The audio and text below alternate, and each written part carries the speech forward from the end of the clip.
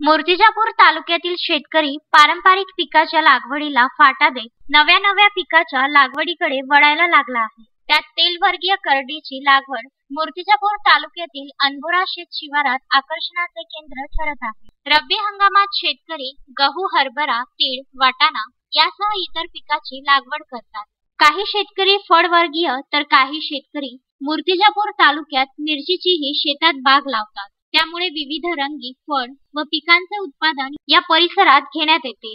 काही नदीकाठावरील शेतकरी उन्हाळी हंगामातील टरबूज व खरबुजाची लागवड करतात. तर काही शेतकरी फळवर्गीय केळी पेरू तर काही शेतकरी ऊसाचीही लागवड करीत आहे मात्र कोरडवाहू शेतकऱ्यांसाठी रब्बी हंगामात तेलवर्गीय करडी उन्हाळी सोयाबीन या पिकाचीही लागवड या परिसरातील शेतकरी करीत आहे त्यामुळे वेगवेगळ्या प्रकारचे पीक शेतकऱ्यांनी काही आता वर्षापासून लागवड करणे सुरू केले आहे. नेहमी शेत जमिनीत एकच पीक घेत राहिल्यास पिकाच्या उत्पादनातही घट येत असते. शिवाय कधी ओला दुष्काळ तर कधी कोरडा दुष्काळ यामुळे हे पिकाच्या उत्पादनात घट येत असते. सिंचनाचे पाणी असूनही खंडित विद्युत पुरवठा होत असल्याने किंवा नेहमीच वीज पुरवठा बंद असल्याने सिंचनाचे पाणी देणेही शेतकऱ्यांसाठी अडचणीचे जात आहे. कुरुम माना जामठी हातगाव सिरसो हिरपूर हा परिसर भाजीपाला वर्गीय पिकासाठी तालुक्यात प्रसिद्ध आहे. या परिसरातील वांगी चवदार असतात. म्हणूनच या परिसरातील घोड व वांग्यांना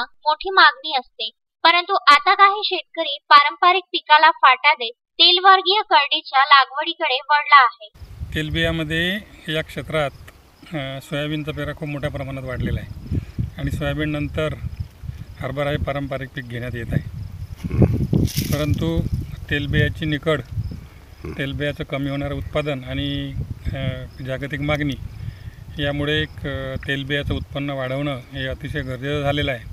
आणि त्याला प्रोत्साहन देण्याकरता महाराष्ट्र शासनानं महाज्योती हा एक प्रकल्प सुरू केलेला असून या क्र प्रकल्पाअंतर्गत अनुदानाची सुद्धा व्यवस्था करण्यात आलेली आहे.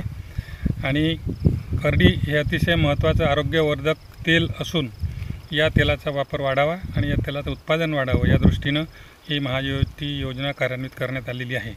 बऱ्याचशा शेतकऱ्यांनी या तालुक्यामध्ये करडीचा पेरा केलेला आहे.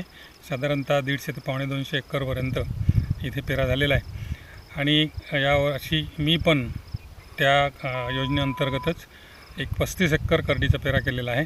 आज रोजी पीक अतिशय चांगलं आहे. हरभरा पिकाला होणारा जो वन्य प्राण्यांचा त्रास आहे तो जर टाळायचा असेल तर रब्बी पिकामध्ये प्राधान्यानं करडी पीक घ्यायला काही हरकत नाही.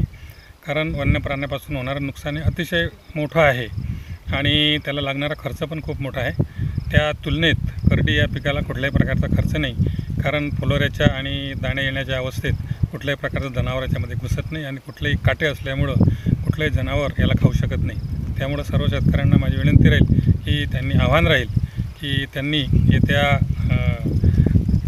सीझनमध्ये खरीप रब्बीमध्ये करडी पिकाचा वाढवण्यास हरकत नसावी. बाळासाहेब गणोरकर विदर्भ न्यूज मूर्तिजापूर.